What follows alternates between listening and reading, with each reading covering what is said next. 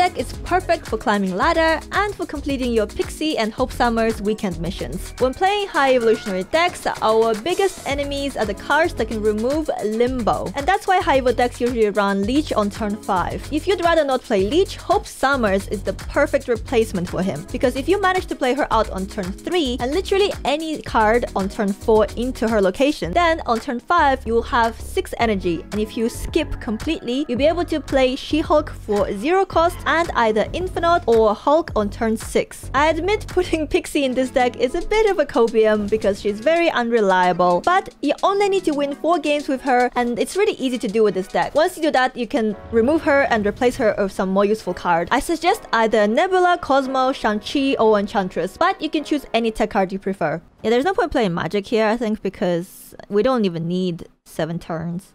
We have everything. We have She-Hulk, we have Hulk, and we even have Sunspot on board, which is amazing, honestly.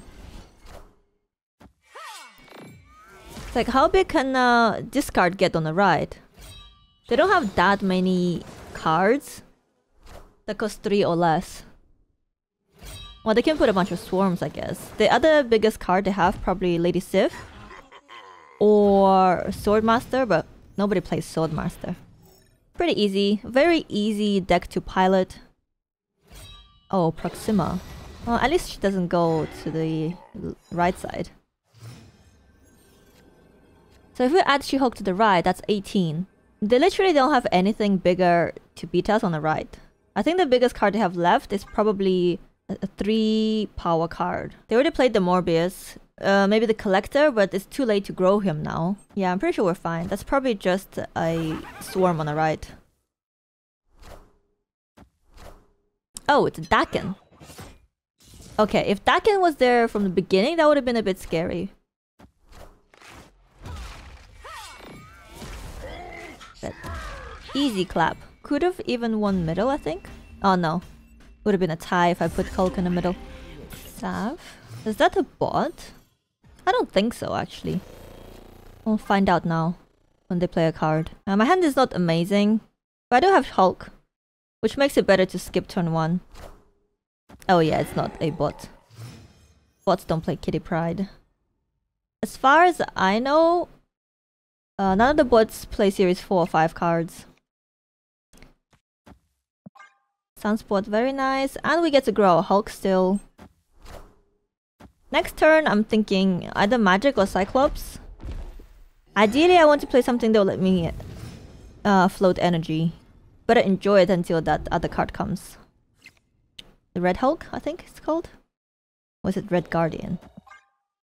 You know the one that gains power for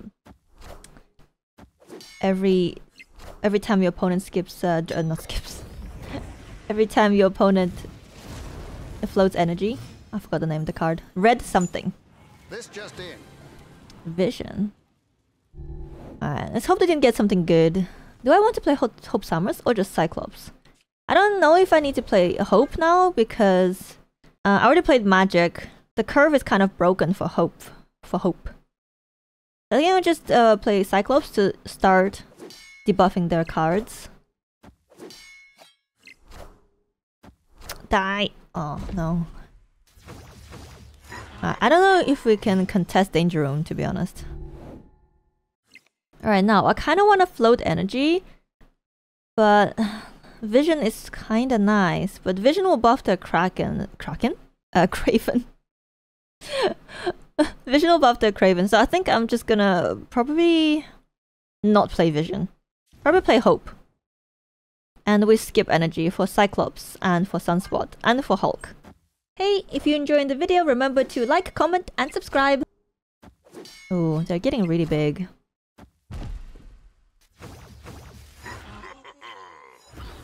Can we beat them? Time to float. Next turn, just Hulk and She-Hulk. Grow our Sunspot this turn. Sounds good. We actually haven't seen what card they got from us. Maybe it was High Evil. That would be good, because it's useless to them as well. Oh, is that our card? Ah. Wow, they're really big on the right. 20 power difference, but we can still beat it, I think. Because I don't think they have anything big for Oh, they snapped me? I don't think they have anything big enough to beat us in the middle.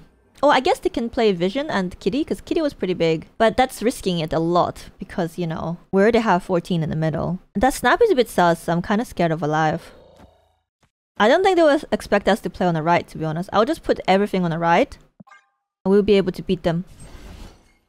Uh-oh. Oh, Kitty was 5, not 6. Oh. That's juicy. Yeah, they expected us to play on the left because of how much of a power difference there was on the right. But they should have known we had Hulk in our hand. And our Hulk will be a lot bigger than theirs. Okay, we gotta destroy from uh, the Great Portal. I forgot to record earlier. Nebula. Ah, Nebula always scares me. Nebula is always some kind of uh, a lockdown, isn't it? We can risk it with Pixie. And hopefully we'll get something good. Maybe the Hulk will swap with something small? We do already have Infinite and She-Hulk uh, in our hand though. Oh, Mindscape is interesting. Play Kyra just to protect our 6 drops for when we want to play them out. And I don't have Hulk in my hand, so I don't need to float. Ooh. It's a mirror match. I'll just play the High Evo in the middle. Yeah, I can't really play anything. I mean, I could have skipped, but it doesn't really do anything except discount the She-Hulk. No sunspot on the board. Feels bad skipping uh, and floating. I mean, we're giving them some really bad cards. I'll play my She-Hulk. I'm not scared because I have Kaya on board. But we do know if they skip, they'll be able to play Infinite. If they don't skip, they'll be able to play Destroyer. Oh. Okay, they, uh, they couldn't... Now they can play Destroyer. They couldn't play Destroyer before. Yikes. So we definitely lose um, right side. Oh! Well, actually, Pixie did something. Oh, they also a Pixie deck. And they have Sentry, but that's from the Great Portal. I think I can play Sentry in Hulk. Um, 20 on the left, that beats the... 20 on the left, Hulk in the middle, 16. But we float, we so also gain. So it's 18 in the middle and Sentry on the left is 20. We always beat the Destroyer. Because the Jeff will die unless they move it to the right side. Yeah, this is... We can't lose. It's impossible to lose. Unless they drew, like, Shang-Chi or something. But even Shang-Chi, they can't because we have Kyra. Oh, nice. And now Hulk grows. GG's. Dead rabbit indeed. Oh, that's a really nice hand. Starting off with Sunspot always feels really good. And the Kiln. Perfect location for our Sunspot. And armor. Uh, and I actually have my curve. So I don't even need Magik. I just need to draw my She-Hulk now, and we have everything we need. Oh, Pixie on turn 2 is kind of scary. You never know what they're gonna pull out. Pull out? Pull out? Pull off? You know what I mean. Oh, the super flow is amazing. I can even put the Cyclops out now if I want to. Yeah, might as well. Like, I don't even need Hope anymore. Oh. Okay, Mobius is bad for me. Mobius means She-Hulk is useless.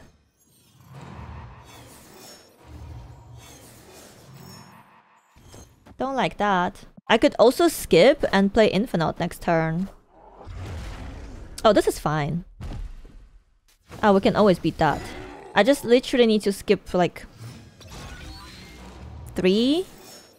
Float three energy and we're good?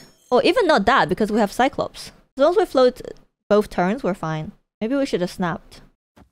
But I think if I snap now, they might retreat. Ooh.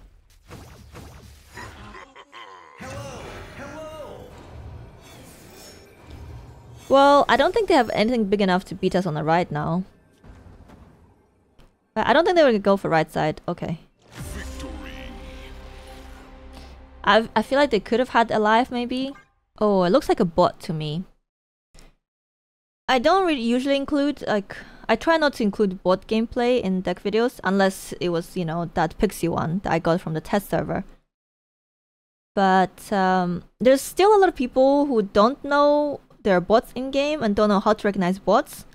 So I think I will um, just commentate through this. And if you are interested, I made a whole video on how to recognize bots and how to beat them. And I will leave a link in the description and above me.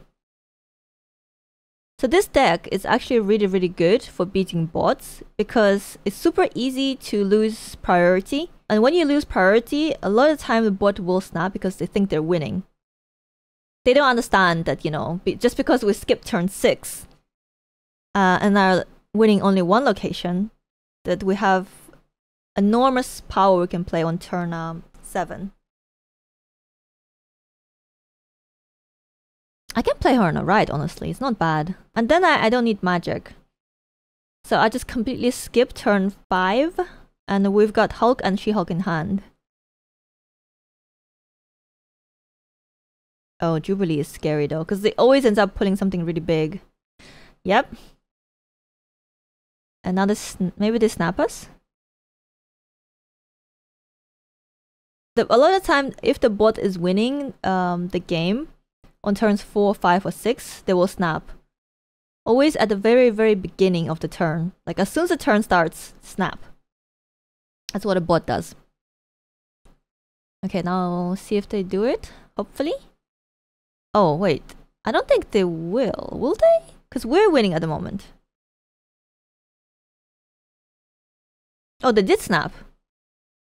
Oh, wait.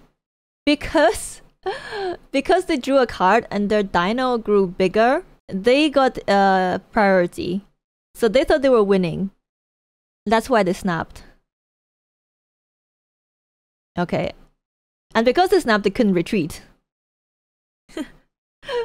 Easy. So how, this is how you bait a uh, bot.